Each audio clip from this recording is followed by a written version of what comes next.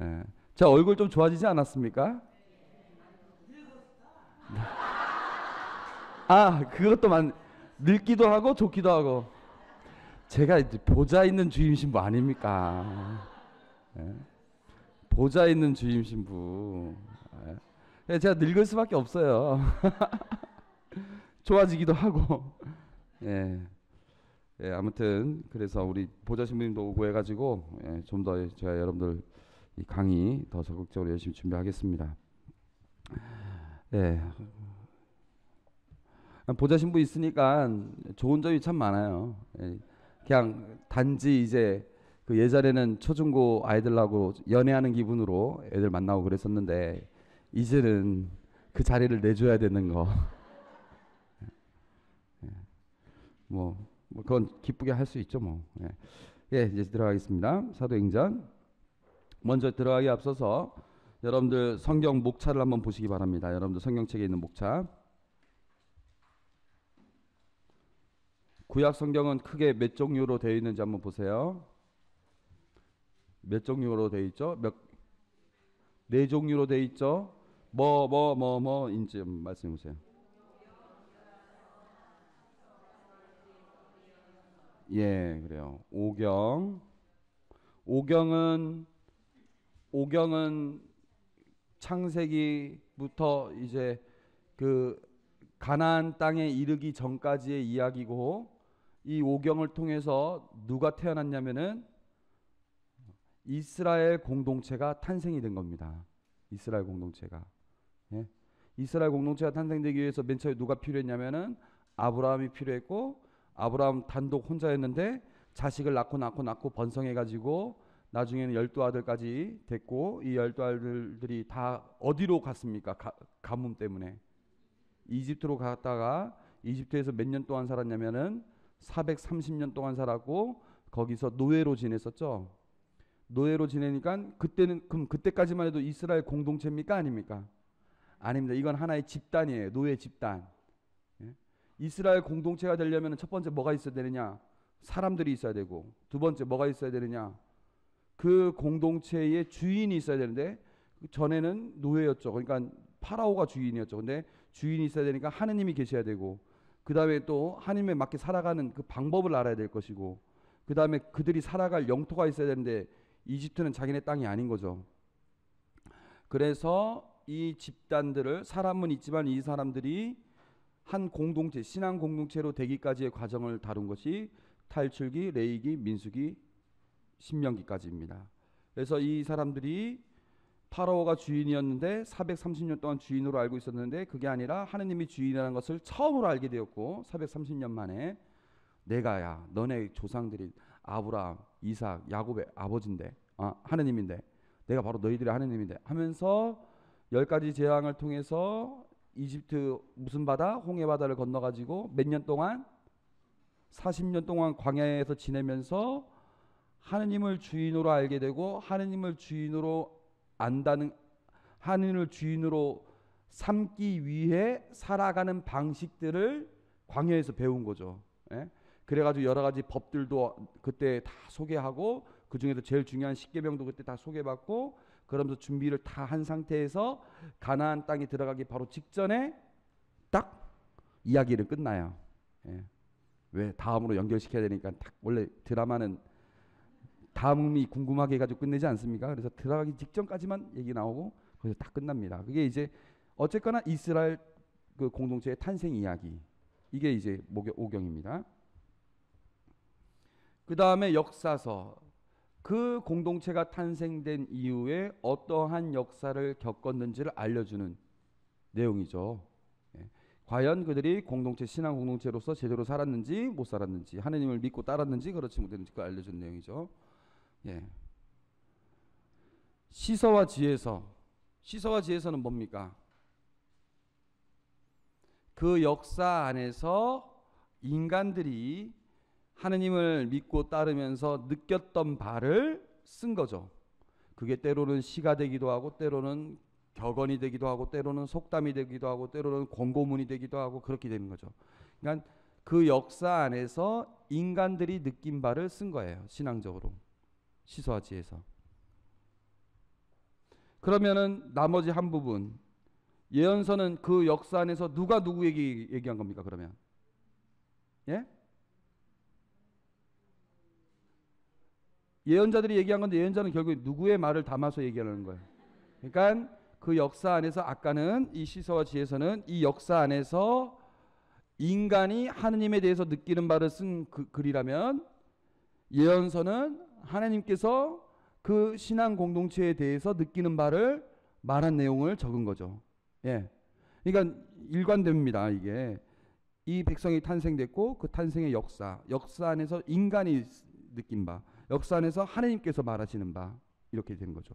이게 네, 네 개의 구성으로 되어 있습니다. 예. 참 쉽죠. 예? 어렵지 않아요. 예. 그러면 구약의 구조와 똑같이 신약의 구조가 있습니다. 오경이 이스라엘 백성의 탄생된 이야기라면 에, 새로운 교회가 탄생된 이야기, 교회가 탄생된 이야기. 그러니까 죄의 노예였고 주인을 제대로 알지 못했고 그래서 죄의 사슬에서 벗어나지 못했던 이 사람들이 그 군중들이 용서받지 못하고 이랬던 사람들이 예수 그리스도를 통해서 믿고 따르는 하나의 공동체가 형성이 됐고 그래서 예수님의 죽음과 부활을 통해서 새롭게 하느님에 대한 그 세계명을 얻고 살아가는 살아가게 되었다까지 예? 까지 그래서 이제 약속된 땅 가나안처럼 하나님 나라를 향해서 걸어가기 시작했다까지가 뭐냐? 신약 성경 중에서 어느 부분? 복음서입니다. 예? 그 다음에 그 공동체가 이제 예수님은 가고 난 뒤에 그 공동체가 이렇게 형성이 됐는데 그 공동체가 어떻게 어떻게 살아가더라 신앙 공동체로서 그 역사를 다뤘던 게 뭡니까? 신약 성경 중에서. 복음 복음이 아니라 사도행전. 예, 사도행전은 역사의 내용이죠. 교회의 역사 얘기. 그 초대교회의 역사 이야기가 사도행전이고 그 역사 안에서 인간들이 그 신앙 공동체를 이끌면서 하나님에 대해서 느끼는 바를 쓴 글. 아 그래서 하나님에 대해서 이렇게 믿어야 되고 저렇게 믿어야 되고 하나님을 찬양합시다 뭐 합시다 하면서 얘기했던 것들이 뭡니까? 서간입니다. 서간. 그리고 그 초대교회의 역사 안에서 하나님께서 인간들에게 너희들은 이렇게 살아야 된다 저렇게 살아야 된다 이것을 참아야 된다 뭐 이렇게 얘기했던 게 뭐냐? 묵시록. 제가 얘기하는 게 대충 알겠죠? 어쨌거나 중요한 거는 뭐냐면은 구약도 네 종류, 신약도 네 종류인데 그 각 종류가 다 서로 통하, 통하다, 통한다. 이 정도만 알고 계시면 되고 이 중에서 우리가 작년에 복음서를 봤어요. 그리고 이 중에서 서간이 다 합쳐서 27권 중에서 21권이 서간인데 그 중에 바오로 서간, 예, 분량이 제일 많은 신약 성경의 거의 절반 절반 이상이 바오로 서간인데 그 바오로 서간을 우리가 지난번에 봤어요. 13권. 로마서, 고린 고린토, 갈라디아, 에페소, 필리피, 콜로세, 데살로니카, 티모테오, 티도 여기까지 해 가지고 이렇게 봤어요. 그다음에 이제 앞으로 볼 부분이 사도행전 볼 거고 그 다음에 서간에서 우리가 아직 아직 안, 안 봤던 부분 필레몬까지 봤구나 필레몬 히브리 야고보 베드로 요한 유다의 서간 그 다음에 이제 묵시록 이렇게 볼 겁니다. 네. 그래서 오늘은 그 중에서 이제 사도행전을 보게 되는 겁니다. 사도행전을 이제 이번 주, 다음 주, 다다음 주까지 세 번, 3주에 걸쳐서 볼 겁니다. 예. 여기까지 질문 있습니까? 예, 없습니다. 사도행전 분량 몇 장? 총? 대충 찍어 보십시오. 20 28장 1006절 28장 1006절 그러면 이게 복음서 보통 우리가 사복음서가 있는데 사복음서보다 분량이 많은지 적은지를 한번 보도록 하겠습니다. 마태복음 총 몇 장? 28장 1068절 좀 비슷하죠? 마르코, 마르코복음 몇 장? 16장 7, 661절. 루카복음 몇 장? 20 24장 1160절 분량은 그래도 제일 많아요. 요한복음은 21장 876절. 그래서 예, 뭐 이거 일일이 다 안 적어도 됩니다. 시험이 안 나옵니다. 1006절, 28장 1006절. 그러니까 거의 그 복음서와 분량이 비슷하다. 이렇게 여러분들 아시면 되겠습니다. 자, 그러면 사도행전에 대해서 이제 말씀드리도록 하겠습니다. 첫 번째 개요. 저자는 루카 복음사가 정말 대단하지 않습니까? 복음서만 쓴 게 아니에요. 예. 누구냐? 루카 복음사가. 예. 정말 열심히 한 것 같아요. 어, 정말 복음서 쓰기도 막 버텼을 건데 어떻게 사도행전까지 이렇게 쓰셨는지. 예. 제가 이 여러 성경의 성경 강의 중에 좀 신난 좀 신나게 성경 강의 하는 것 중에 하나가 사도행전입니다. 막 신납니다. 막 사도행전 할 때. 예. 막 자랑스럽고 루카복음사가 그 다음에 독자는 이방계 그리스도인 작년에 공부하셨던 분들 한번 복습해 볼까요? 마테오는 유다인입니까? 이방인입니까? 유다인이 누구에게 쓴 거예요? 유다인들에게 쓴 겁니까? 이방계 그리스도인에게 쓴 겁니까? 유다인이 유다인에게 마르코는 유다인이 이방인에게 루카는 이방인이 이방인에게 요한은 뭐 그 그리스도교에 대해서 요한 공동체에서 그리스도 공, 그 그리스도교를 이미 심취하고 있는 이들에게 예, 썼다고 이렇게 얘기를 하고 있죠. 그래서 루카복음사가는 예, 이방인이고 독자 역시 이방계 그리스도인입니다. 연대는 에, 루카복음이 70년 전후 혹은 그 이후라고 70에서 80 우리가 그때 그렇게 얘기를 했는데 아무튼 루카복음부터 쓴 다음에 쓴 거예요. 그러니까 적어도 80년 그 다음에 이제 95년에 그 박해가 있었는데 그 전에까지 썼을 것이다 이렇게 지금 최대한 잡아서 그렇게 잡은 겁니다. 아무튼 80년대에 썼다고 생각하시면 되겠습니다. 됐죠? 저자에 대해서 보도록 하겠습니다. 저자는 루카의 예, 작품이다. 사도행전 1장 1절에서 2절. 테오필로님 첫 번째 책에서 저는 예수님의 행적과 가르침을 처음부터 다 다루었습니다. 이 첫 번째 책은 뭡니까? 루카복음. 이제 두 번째 책이 시작되는 것이죠. 예수님께서 당신이 뽑으신 사도들에게 성령을 통하여 분부를 내리시고 나서 승천하신 날까지의 일을 다 다루었습니다. 첫 번째 책에서. 예. 그리고 우리 가운데 이루어진 일들에 대하여 관한 이야기를 엮는 작업에 많은 이가 손을 대었습니다. 그러니까 우리 가운데 이루어진 일. 그러니까 루카 복음사가는 열두 사도에 속한 사람이 아니니까 그 이후에 제자의 제자 아닙니까? 제자의 제자격이죠. 바오로의 동반자라고 불리는데 루카가. 그러니까 이제는 그 예수님과 함께 있었던 것이 아니라 우리 가운데 이루어진 일들에 관한 이야기들이 있는데 이 이야기들이 엮는 작업에 많은 이가 손대었습니다. 야 지난번에 베드로가 이런 일이 있었어, 바울과 이런 일이 있었어, 누가 어디 갔다 왔었어, 누가 이렇게 해가지고 이렇게 했어. 이런 얘기를 막 여기서도 듣고 저기서 듣고 저기서 들을 거 아닙니까? 그러면 그 얘기를 모아가지고 한 뭉탱이로 사람들이 이렇게 이야기를 계속 했을 거 아닙니까? 입에서 입으로 전해지지 않았겠습니까? 제가 아까 말씀드렸지만은 그렇게 이야기들이 있었는데 그거를 엮었습니다. 목격자로서 말씀의 종이 된 이들이 우리에게 전해준 것을 그대로 엮었습니다. 그래서 나는 이 이야기 뭉탱이들을 또 모아 모아 모아 모아서 이걸 잘 이렇게 순서대로 잘 정리해 가지고 최종 편 편집 편찬을 하게 된 겁니다. 예? 존귀하신 테오필로스님 이 모든 일을 처음부터 자세히 살펴본 저도 귀하께 순서대로 적어드린 것이 좋겠다고 생각하였습니다. 이는 귀하께서 배우신 것들이 진실, 진실 임을 알게 해드리려는 것입니다. 해서 이 글을 썼다 이렇게 나온 거죠. 그러니까 이제 첫 번째 책이 있었고 첫 번째 책으로 끝나지 않고 나는 또 한 작업을 하겠는데 그 얘기는 뭐냐면 우리 안에서 벌어진 일들을 사람들이 이렇게 전해져 오고 전해주고 있는데 그것들을 내가 모아가지고 이렇게 편집해서 예, 얘기를 하겠다 이렇게 얘기를 한 거죠. 예. 아, 루카복음 1장 1절에서 아, 이거는 루카복음 1장 1절에서 3절이네요. 음. 그러네요. 예.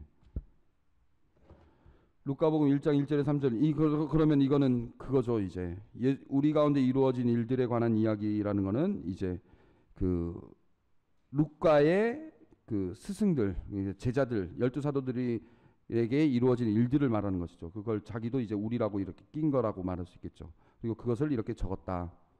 루카복음에서는 그랬고 사도행전에서는 첫 번째 책에서 나 이 다 다루었다. 그리고 이제 두 번째 책을 쓴다는 얘기겠네요. 제가 준비를 더 열심히 했어야 되는데 그렇게 못해가지고 이렇게 여러분들이 착오를 내렸습니다. 아무튼 중요한 거는 그렇게 했다. 두 개의 작품이 있다. 자, 그래서 루카복음과 사도행전은 동일한 저자일 것이고요. 여러분들 이렇게 한 사람이 그 시리즈로 책을 쓰는 경우, 이중 작품을 쓰는 경우가 여러분들 있죠. 예를 들어서 성경에서 열왕기, 사무엘 상하기, 열왕기 상하기, 역대기 상하기 이런 식으로 예, 두 개, 두개 이런 식으로 두 권짜리인데 사실은 한 작품인 예가 있죠. 이런 것처럼 이것도 루카 루카 복음사가는 이것 따로 이것 따로가 아니라 이게 하나의 작품으로 이렇게 생각하고 있습니다. 그래서 이제 주석서 같은 것도 보면은 루카 복음하고 사도행전 붙여서 이렇게 한 작품으로 이렇게 생각하고 있습니다. 여러분들도 그렇게 알아들으시면 되겠고요. 예, 테오필로라는 이야기, 테오필로스에 대해서 먼저 얘기하겠습니다. 아까 존경하는 테오필로스님 이렇게 얘기 나왔죠? 제가 아까 얘기를 할 때 뭐라고 얘기를 했냐면은 어, 독자가 이방계 그리스도인들이라고 이렇게 얘기했는데 어, 테오필로스 이거 한 사람한테만 쓴 게 아니냐 이렇게 얘기를 할 수 있죠. 근데 이 부분에 대해서 이렇게 말씀드리겠습니다. 테오필로스에 대한 그 학자들의 의견은 두 가지가 있습니다. 첫 번째는 뭐냐? 아까도 얘기했지만 책 한 권, 책 한 권이 예전에 이렇게 나온 것이 아니라 뭐 두루마기 크게 하고 양피지 하면 양을 몇 마리를 잡았을까요? 예? 그게 이제 짐승을 잡든지 아니면 두루마기를 써야 되니까 그것도 일일이 이렇게 다 이렇게 아주 정성껏 쓰거든요. 우리 서예 하듯이 막 쓰거든요. 그래서 우리 우리 본당에 있다가 지금 서문성당 가신 분이 있는데 그분이 이제 서예로 그 성경 필사를 하고 계시는데 그분이 뭐라고 했더라. 하여튼 하루에 몇 시간씩 해가지고 한 장을 겨우 쓰고 뭐 이런 식으로 해서 매, 매번 그렇게 씁니다. 그러니까 이게, 이게 쓰는 게 쉽지가 않아요. 근데 그걸 다 일일이 그렇게 썼다는 거죠. 또 옛날에 그 거친 이 두루마기나 이런 데서 파피루스나 이런 데서 그러면은 그 성경 루카 복음사가가 사도행전 28장 1000 아까 6절인가 그거를 다 쓰기까지는 시간도 많이 걸리고 그러면 그 시간 동안에 여러분들도 집 짓는데 공사하면은 공사비만 주는 게 아니라 그 공사비 안에 밥값도 들어갈 거 아닙니까? 밥값도 필요하죠. 숙식비가 필요하죠. 그다음에 그 쓰는데 들어가는 그 재료값도 들어가죠. 얼마나 비쌌겠어요. 성경 하나를 쓴다는 것은 곧 뭡니까? 성당 하나 짓는 시기예요. 그러니까 이 테오필로스는 누굴까? 아마도 책의 집필을 위한 후원자가 아닐까? 이 첫 번째 그 학자들의 의견입니다. 그 다음에 또 뭐가 있냐면은 이 루카 복음사가는요 완 똑똑한 사람입니다. 그리고 교양이 아주 풍부하고 문학적인 그, 그 감각이 뛰어난 사람이에요. 그래서 마테오, 마르코, 루카, 요한복음 그 말들이 다 그리스 말 말들인데 그 그리스 말들을 분석해 보면 루카 복음사가가 어휘라든가 문체가 제일 세련됐어요. 예. 루카 복음 사가가 마르코는 좀 투박해요. 예. 마테오는 그 마치 콩글리시 있죠, 콩글리시. 예. 이건 한국말도 아니고 미국말도 아니야 하는 그런 그 그런 식이에요 말투가. 그러니까 왜냐하면 유다인이고 그 그래서 유다인들에게 전하는 말들이니까 그리스어로 썼지만 약간 그 자기네 색깔이 드러나는 그런 말투예요. 요한복음사가는 반복적인 말도 많고 막 그렇게 돼 있어요. 근데 루카복음사가는 가장 그리스 문학에 그 근접한 세련된 표현들을 많이 쓰고 또 그리스 문학적인 기법들을 사용할 줄 아는 사람입니다.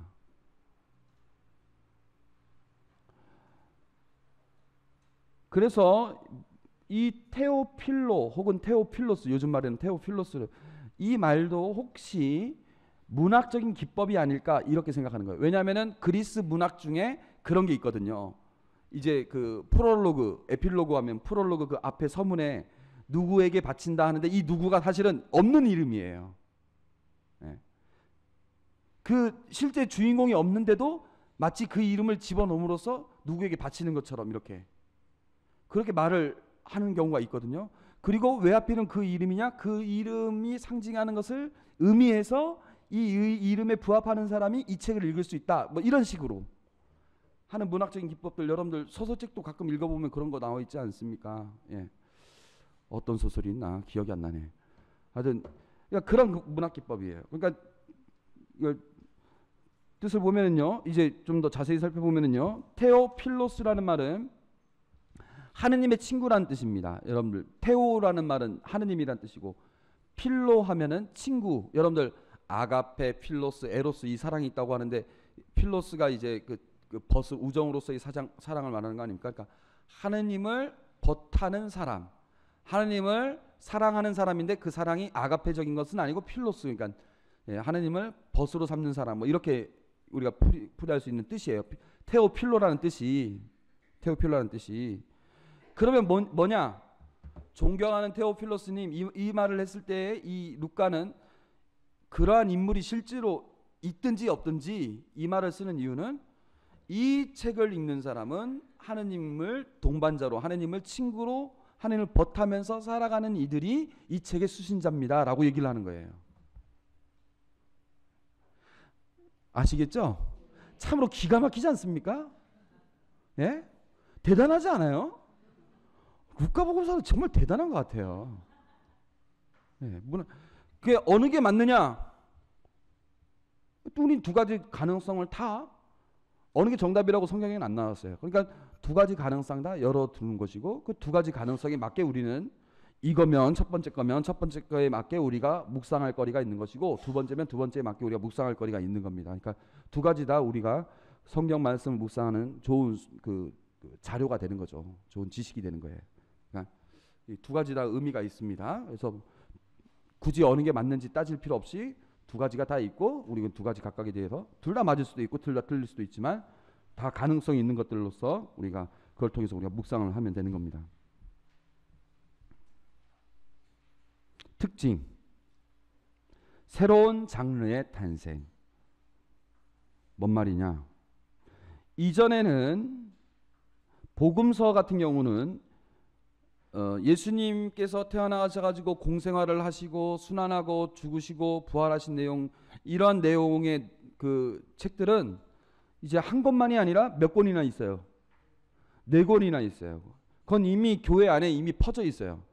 그 내용을 다른 것들은 심지어는 서로 비슷한 것들도 아주 많아요. 예. 복음서라는 하나의 그 문, 문학이라고 친다면 그런 문학적인 장르가 이미 돼 있어요. 시리즈가. 예, 똑같은 것들이.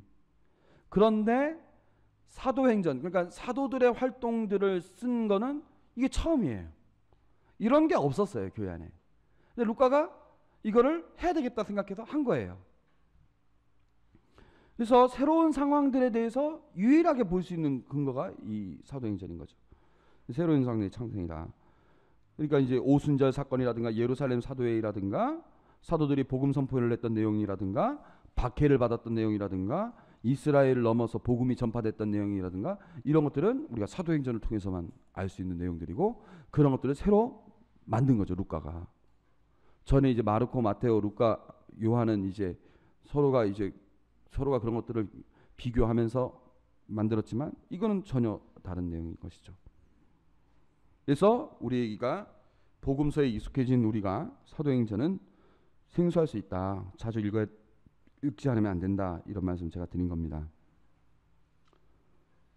예, 사도행전이 가치가 아주 있습니다. 여러 가지 면에서. 두 번째 특징, 이제부터 사도행전이 전하는 메시지와 연결되는데 세상의 역사와 구원의 역사 사이에 깊은 통찰이 담겨져 있다. 시간과 공간 제가 이렇게 얘기를 했는데 이거는 이제 루카복음부터 사도행전 전체가 하나의 작품으로 생각해서 제가 설명을 드리겠습니다. 자, 여러분들 요즘에는 많이 달랐어요. 근데 80년대만 해도 사극하면 80년대 대표적인 사극이 뭡니까? 아, 물론 장희빈도 있는데 또 매주 계속 했던 거 있죠. 360일 내내 했던 게 뭡니까? 조선왕조 500년 아닙니까?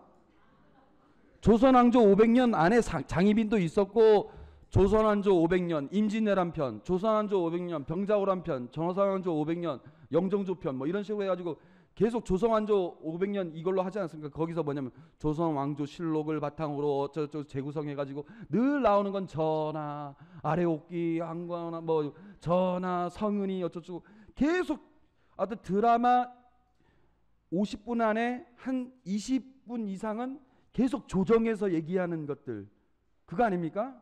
왕조의 역사가 예 조선의 역사라고 생각을 하고 그렇게 80년대 만들. 근데 요새는 좀 많이 달라졌어요. 요새는 뭐 해를 푸는 날도 사극입니까? 그거 잘 모르겠는데 제가 그런 것도 있고 뭐 뿌리 깊은 나무도 약간 물론 왕조의 얘기만 나왔지만 그것도 저, 그게 전부가 아니라 뭐 허준도 있고 뭐 대장금도 있고 좀 이제는 약간 주변 인물들의 이야기가 사실은 역사에 큰 의미가 있었다라는 것들 요새 많이 부각시키긴 하- 있지만 주로 사극하면은 왕조 얘기가 나옵니다. 왜? 역사는 권력자들에 의해서 움직인다고 생각하기 때문에 역사는 이게 보통 사람들의 생각입니다. 역사는 권력자들에 의해서 움직인다. 그런데 루카복음사가는 그러한 가운데에서도 그런 수많은 권력자들의 역사 가운데서도 사실은 역사는 그 권력자들에 의해서 움직이는 것이 아니라 그 권력자들이 아닌 누가 역사를 움직이는 겁니까? 예? 하느님께서 역사를 움직이신다. 이렇게 루카복음사가는 생각을 하고 있어요. 하느님께서 역사를 움직이신다. 그래서 루카복음 초반에 예수님께서 태어나시고 난 뒤에 맨 마지막에는 어디까지 가냐면 로마에까지 그 역사의 중심부라고 할 수 있는 로마에까지 가서 이 복음이 전해지는 이 과정이 그러면서 움직이지는 이 역사의 그 대단한 내용들이 이게 다 하나님께서 움직인 것이다. 이렇게 보고 있는 거예요. 근데 그 역사를 누가 움직이느냐? 누가 움직인다고 하는 거예요. 왕들이 움직이는 게 아니라 예수님을 중심으로 해서 보잘 것 없는 이들. 예? 성령을 받은 사람들을 중심으로 해서 보잘 것 없는 이들이 하느님의 도구가 되어서 역사의 주체가 되어서 구원의 역사를 끌고 가고 있다. 이걸 얘기하고 있어요. 이, 이 부분은 좀 더 자세하게 얘기하면 좋은데 제가 다음에 기회 있으면 좀 더 자세하게 얘기하도록 하겠습니다. 이 엄청난 내용입니다. 그래서 루카복음사가는 지금 아주 우리 그 전 인류의 역사에 있어서 아주 중요한 부분이구나 지금이 그, 그 중요한 부분을 하나님께서 지금 움직이고 있구나 이 보잘것없는 사람들 통해서 이거를 그 루카복음 초반부터 그 사도행전 끝때까지 계속 초지일관 이야기를 합니다. 그래서 보잘것없는 이들의 이야기를 쭉 하고 그 안에서 벌어지는 일들이 이, 이 구원의 섭리 안에서 벌어지고 있다. 권력자들은 거기서 중요한 역할을 하지 못해요. 그래서 아주 역사가로서 이런 얘기들을 합니다. 시간, 권력자들의 시간 속에서 구원의 사건이 전개된다.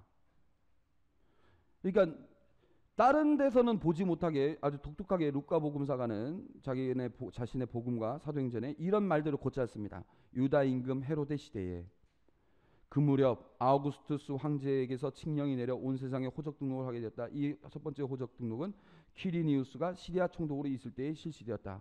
그러니까 이제 때는 언제 하면서 그 권력자들의 그 시간들을 이렇게 알려줘요. 예, 이건 아주 그냥 완전 유명한 구절입니다. 티베레우스 황제 나왔죠, 본시오 빌라도 나왔죠, 헤로데 나왔죠, 필리포스 나왔죠. 그 다음에 지방 영주, 그 다음에 이제 아빌레 영주로 있을 때 한나스 나왔죠, 카야파 나왔죠. 그러니까 엄청나게 권력자들이 지금 꽉 차 있는 이때에 루카복음사가 강조하고 싶은 거는 이러한 권력자들의 역사가 아니라 이러할 때에 말씀이 광야에 있는 즈카리아의 아들 요한에게 내렸다. 진짜 역사는 요거다. 얘기하는 거예요. 아주 기가 막힌 부분입니다. 이런 식이에요. 예, 사도행전에서도 마찬가지로 그 기근은 클라우디우스 황제 때에 있었다. 이런 식으로 아킬라는 클라우디우스 황제가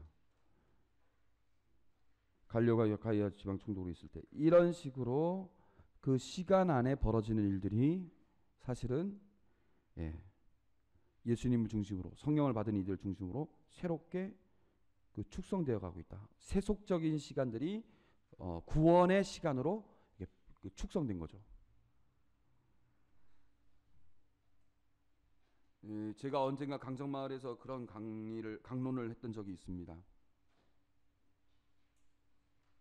어떤 한 젊은이가 있었는데 이 젊은이는 아주 평범하게 살고 누가 누구도 알아주지 않는 사람이었는데 어느 날 에, 다른 사람들을 위해서 어, 병도 고쳐주고 에, 좋은 말씀도 해주고 사람들을 위해서 죄 한 번 짓지 않고 아주 착하게 살다가 3년 만에 예?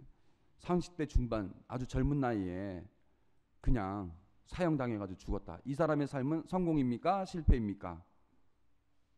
이렇게 물어봤던 적이 있어요. 그 다음에 그때 이제 강전마을에 문정현 신부님이 있었는데 문정현 신부님 책 읽으신 분들 계신지 모르겠습니다만은 그분이 처음에는 몰랐는데 지내다 보니까 유신 유신이다 뭐다 뭐 이런 여러 가지 있으니까 그럴 때 이제 양심 그 무슨 뭐, 뭐 민혁당 사, 인혁당 사건이라든가 이런 여러 가지 일들이 있을 때마다 가서 어, 그들을 구하, 구하려고도 했었고 농민운동도 벌- 벌렸고 이렇게 할 때마다 매번 된 것보다 안 된 것들이 더 많았다. 동료 동료는 사형당해서 죽기도 하고 감옥에 갇히기도 하고 본인도 감옥에 몇 번 갇히기도 하고 고문도 당하고 뭐 이런 여러 가지 일들을 겪었고 그렇게 해서 지금 30년 동안 살았다. 매번 용산에서도 무너졌고 대추리에서도 무너졌고 뭐 계속 졌다. 이 사람의 삶은 이 사람의 사제 생활은 성공입니까 실패입니까? 제가 그렇게 물어봤어요.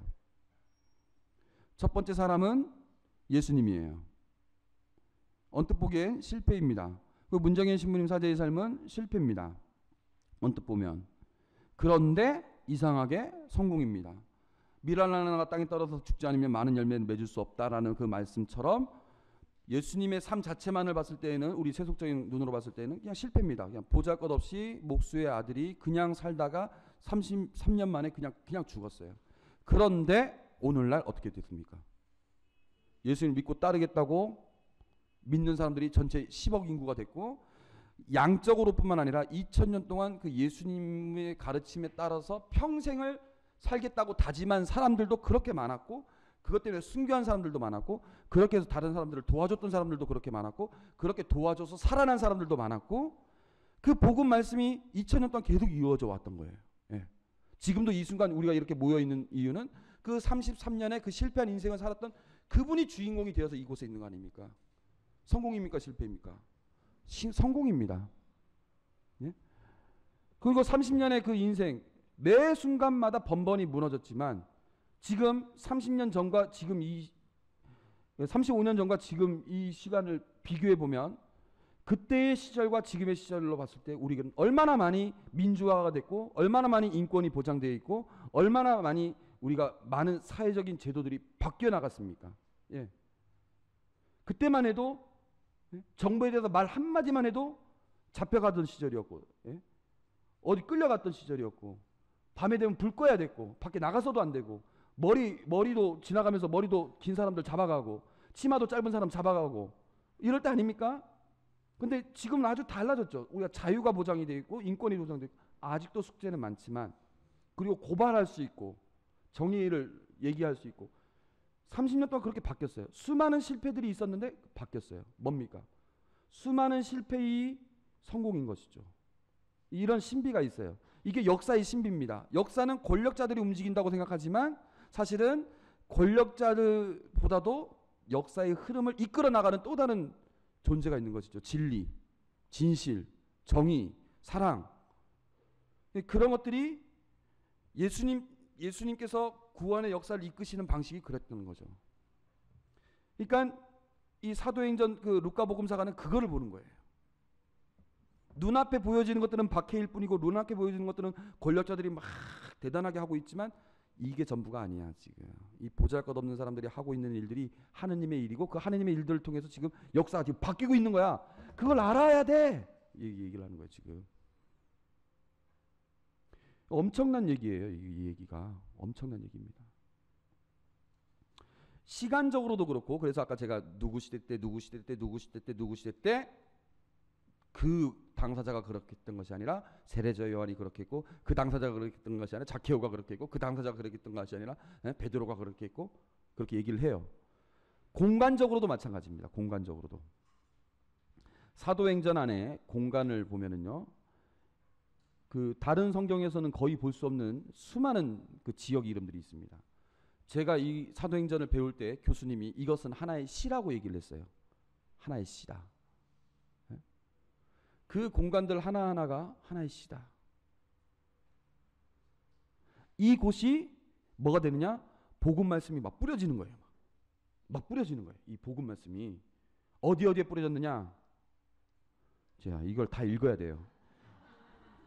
예루살렘, 유다, 사마리아, 갈릴레아, 파트, 파르티아, 메디아, 엘람, 메소포타미아, 카파도키아, 폰토스, 아시아, 프리기아, 팜필리아, 이집트, 키레네, 리비아, 로마, 크레타, 아라비아, 나자레, 키프로스, 알렉산드리아, 킬리키아, 에티오피아, 아스돗, 카이, 카이사리아, 다마스쿠스, 타르수스, 리따, 사론, 야포, 이탈리아, 페니키아, 안티오키아, 그리스, 티로, 시돈, 살라미스, 파포스.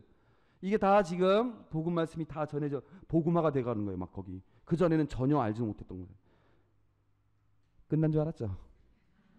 페르게, 피시디아, 안티오키아, 이코니아, 리카오니아, 리스트라, 데르베, 리카오니아, 피시디아, 아탈리아, 페르게, 펜키아, 시리아, 데르베, 리스트라, 갈라티아, 비, 비티니아, 미시아, 트로아스, 마케도니아, 사모트라케, 네아폴리스, 필리피, 암피폴리스, 아폴로니아, 테살로니카, 베로이아, 테살로니카, 토선네, 안토, 아테네, 코린토, 아카이아, 켕크레애, 에페소, 카이사리아, 아소스, 사모스, 밀레토스, 코스, 로도스, 파타라, 프톨레마이스, 안티파트리스, 아드라미티움, 리키아, 미라, 크니토스, 크니도스, 살모네, 라세아, 페닉스, 아드리아바다, 몰타, 레기움, 푸테올리, 압수, 아푸스, 트레스, 타베르네. 이게 지금 제가 지금 사도행전 보면서 그냥 찾으면서 그때그때 친 거예요. 지금 눈으로 본 것들만. 그래도 시간이 이렇게 많이 걸- 제가 읽은 것만 해도 시간 많이 걸렸죠. 이거 제가 찾아서 쓰려니까 얼마나 시간 많이 걸렸겠어요. 예? 근데 문제는 뭐냐? 우리는 그냥 이걸 그냥 그냥 말하고 그냥 그냥 쓰, 썼을 뿐이지만 사도들은 거기를 직접 걸어서 갔고 배 타고 가가지고 거기서 그 사람들을 전혀 다른 언어의 사람들을 만나가지고 거기서 막 여차저차 해가지고 거기서 복음이 뿌려진 거예요. 그 얘기를 지금 쓰는 거예요. 지금 사도행전 그 책 전체에 그런 곳곳에서 그렇게 복음이 뿌려졌다. 그걸 얘기하는 거예요. 그러니까 역사 자체가 완전히 예? 싹 달라지고 있다. 거기 이 여기가 다 어디입니까? 로마 제국 아닙니까? 로마 로마 황제의 통치 아래서 로마의 법을 따르고 로마의 질서를 따르고 로마의 로마식의 건물을 짓고 로마식으로 뭐든지를 다 하는 그것들인데 예수님이 승천하면서 성령을 딱 내리니까 그 순간 이게 로마 제국이야 아니야 싶을 정도로 복음이 그렇게 돼 버리는 거예요. 복음적인 삶의 방식이 규칙이 돼 버리고 복음적인 공동체가 생기고 복음적인 건물이 생기고 뭐 눈에 보이지 않는 복음적인 그러니까 교회 공동체가 생기고 그곳에서 로마 황제가 아니라 예수님을 믿고 따르는 이들이 생겨나기 시작하는 거예요. 아까 제가 말했던 이 곳에 그게 전파 전파되는 과정들이 이렇게 있다. 역사는 이렇게 바뀌고 있다. 엄청난 통찰인 거죠, 이건. 그러니까 이건 하나의 시라는 거죠, 지금. 온 세계가 복음으로 되어가고 있다. 그때는 전 세계가 이제 로마가 전 세계죠. 근데 온 세계가 복음으로 전환되고 있다. 이런 얘기를 합니다. 세 번째, 예루살렘을 구원의 중심지로 표현함. 예루살렘 구원의 중심지. 그래서 루카복음사가를 루카복음 내용을 보면 이 공부를 저, 작년에 했던 분들은 좀 더 이해할 수 있겠는데 제 특징만 보겠습니다. 머리말과 예수님의 탄생 활동 준비 이게 있고 그 다음에 이제 4장부터 9장까지는 갈릴레아에서 활동을 한 거예요. 그러니까 이스라엘 지역이 있으면 여기가 갈릴레아 윗부분이 갈릴레아고 중간이 이제 사마리아고 밑에가 유다 유다와 그 도시 그 중심 중심인 그 예루살렘 도시가 있어요. 그러니까 갈릴레아 지방, 사마리아 지방, 뭐 유다 지방 이렇게 있는데 이 이 부분에서는 갈릴레아에서 활동한 내용만 나와요. 그 다음에 9장 51에서 19장 28절 그러니까 10, 11, 12, 13, 14, 15, 16, 17, 18, 19 10장에 걸쳐서 예루살렘으로 상경하는 내용만 그 내용을 쭉 따라요. 마테오, 마르코, 루카도 비슷한 구조인데 이런 상경기 이렇게 길게 나와 있지 않아요. 루카 복음만 길게 나와요. 예루살렘을 가는 준비 과정을 계속 길게 잡아요. 그러면서 이 상경 기 안에 모든 가르침을 다 거기에 다 집어넣어요. 그 다음에 이제 여기는 예루살렘 활동기 그러니까 순환, 죽음, 부활 여기 돼 있고 루카복음에서는 부활도 예루살렘에서만 이루어집니다. 마테오나 마르코 같은 경우를 보면은 뭐 갈레아에서도 나타나시고 뭐 어디서 뭐 그렇게 막 하거든요. 근데 루카복음에서는 이, 이 예루살렘에서만 부활 이야기가 나와요. 예수님께서 마치 예루살렘에서만 부활한 것처럼.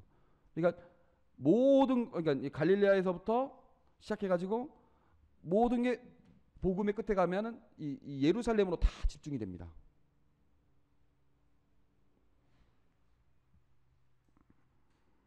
그리고 사도행전부터 보면은 사도행전은 어디서부터 시작되느냐? 예루살렘부터 시작돼요. 그다음에 3장부터 14장까지는 예루살렘, 유다, 사마리아 지방. 그러니까 이스라엘 지역. 그러니까 아까 루카복음사가는 갈릴레아에서부터 쭉 예루살렘으로 갔고 예루살렘에서 이제 14장까지 어떻게 되느냐? 유다와 사마리아 지방까지 퍼져나가고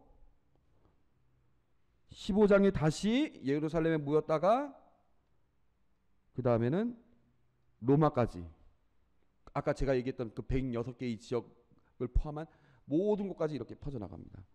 그래서 루카 복음 루카의 작품 그러니까 루카 복음부터 사도행전까지의 내용을 전체적으로 보면 어떻게 되느냐? 나비 넥타이처럼 되어 있다라고 학자들이 얘기를 합니다. 나비 넥타이처럼 되어 있다. 어떻게 되느냐? 이렇게 모였다가 예루살렘에서 다시 이렇게 퍼져나간 거예요. 제가 다음에 또 기회 있으면 말씀드리겠습니다. 그래서 예루살렘이 중심지다. 그래서 예루살렘은 구원 사건의 도시고 갈릴레아에서 예루살렘으로 모아졌다가 이게 이제 복음서까지 내용입니다. 예루살렘에서 이제는 갈릴레아 정도가 아니라 그 이상을 넘어서 됐다. 뭐 이거는 너무 어 그래서 루카복음의 유혹 사화도요 순서가 마테오랑 달라요. 그 유혹 세 가지 유혹을 하는 것도 마테오 같은 경우는 맨 처음에 사람이 어 빵만으로 살지 않고 하나님 입에서 나오는 모든 말씀으로 산다 해가지고 빵의 유혹이 나오죠. 그 두 번째는 뭡니까? 예?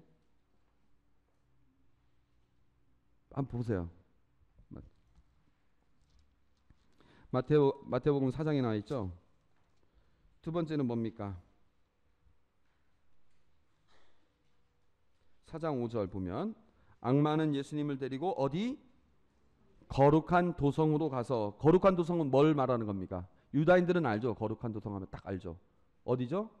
예루살렘. 두 번째는 예루살렘 성전 꼭대기에서 떨어져 봐라. 이거죠. 세 번째는 뭐냐면은 다시 그분을 매우 높은 산으로 데리고 가서 어떻게 나와 있습니까? 예. 나에게 엎드려 절하면 이걸 다 주겠다 이렇게 나와 있는 거죠. 세 가지 유혹. 근데 루카복음을 보면은요, 루카복음 4장을 보면은요, 첫 번째 내용이 뭡니까? 똑같습니다. 첫 번째는 4장 1절, 어, 4장 4절 보면은 사랑으로 돌더러 빵이 되라고 해서 사람은 빵으로만 살지 않는다. 이렇게 나와 있죠. 순서가 루카복음 4장 4절, 3절 4절. 예. 두 번째는 뭡니까? 높은 곳으로 가서 나한테 결, 절하면 다 주겠다 이거죠. 이건 마테오에서 몇 번째 유혹이었어요. 근데 여기서는 두 번째로 바꿨죠. 세 번째는 뭘로 됐습니까? 사장 9절 보면 악마는 예루살렘을 예수님을 예루살렘으로 데리고 갔다 이렇게 나와 있죠. 세 번째가 예루살렘이에요. 왜 이렇게 순서를 예루살렘을 세 번째로 했느냐? 세 번째 예루살렘이 클라이막스기 때문에 일부러 승천 이야기도 보면은 예루살렘에서 승천하십니다. 아무튼 이렇게 예루살렘을 중요하게 생각해요. 그래서 첫 번째 아까 역사에 관련된 아니 그 뭐냐 그 새로운 장르다. 그다음에 역사에 관련된 깊은 통찰이 있다. 그다음에 예루살렘을 중심지로 생각한다. 이렇게까지 말씀드렸습니다. 이 세 가지 우선 기억하시고 사도행전의 구조와 기준에 대해서는 원래 여기까지 싹 이렇게 해야 되는데 여기까지 여기까지 여기까지 가야 되는데 예, 오늘 여기까지 수업 나가야겠다고 생각했었는데 예, 첫 시간은 짧아야 되기 때문에 이거는 다음에 하도록 하겠습니다. 그래서 좀 더 여유 있게 하도록 하겠습니다. 여러분들 어, 사도행전을 어, 이번 주 동안에 한 한 두 번 정도 좀 읽으셨으면 좋겠습니다. 어, 제가 이거를 지금 잠깐 이것만 놔두고 좀 놔둘게요. 그럼 여러분들 지금 필기하시고 읽으시면서 이제 이 내용을 바탕으로 아 지금 내가 어디서부터 어디까지 읽었구나. 그 다음에 예를 들어서 8장부터 읽으면 아 이제는 일곱 봉사자의 증언활동 내용이구나. 그걸 쭉 읽어보시고 이걸 바탕으로 여러분 읽어보시기 바랍니다. 그래야 훨씬 좀 어, 입체적으로 좀 능동적으로 일- 능률적으로 읽으실 수 있을 겁니다. 네. 그러니까 새로운 장르라는 거는 아직까지 그런 그러니까 이제 어 뭐라고 해야 되냐 어. 음, 예를 들어서 음, 삼국사기 삼국유사 어느 게 먼저 쓰였습니까? 삼국유사가 먼저 쓰여졌죠. 그러니까 삼국유사가 쓰여지기 전까지는 삼국시대에서 쓴 글이 전혀 없었어요. 삼국시대의 역사에 대해서 쓴 유일한 책이 삼국사 유사였는데 그 다음에 이제 삼국사기가 그다음 나온 거죠. 그런 식으로 사도들의 역사, 사도들의 활동에 관련된 그 내용 자체를 쓴 글이 전에 전혀 없었다는 거죠. 이게 유일하다는 거죠. 그래서 완전히 그런 면에서 새로운 장르가 탄생되는. 반면 복음서 같은 경우는 이미 있었고 그런 게 네 권이나 이렇게 반복적으로 이렇게 나왔다는 거죠. 그러니까 이제 루카복음사가가 루카복음을 쓸 때만 해도 전혀 새로운 장르는 아니었어요. 근데 루카복음사가는 거기서 새로운 장르를 새로운 내용을 개척한 거죠. 예, 그런 의미입니다. 좋은 질문하셨고요. 여러분들 그 성경책 뒤에 보면 이렇게 지도가 있습니다. 지도가 있어요. 이거는 이제 바오로 선교여행 관련된 지도고 여기 보면은 신약 시대의 파- 팔레스티나 뭐 이렇게 지도가 있어요. 네, 이, 이, 이거를 여러분들이 어, 사도행전 때에는 조금 이제 참조하시면 조금은 도움이 됩니다. 이게 뭐 큰 도움은 안 되지만 그래도 감을 대충 잡을 수 있어요. 감을. 어, 그래서 저도 어, 가능한 한 이런 지도들을 좀 활용을 하, 하도록 하겠습니다. 그 이 교구 성서 이 여기서 하- 제가 하는 강의가요. 에, 초급 초급 이상입니다. 이게 한 중급 정도라고 저는 생각이 됩니다.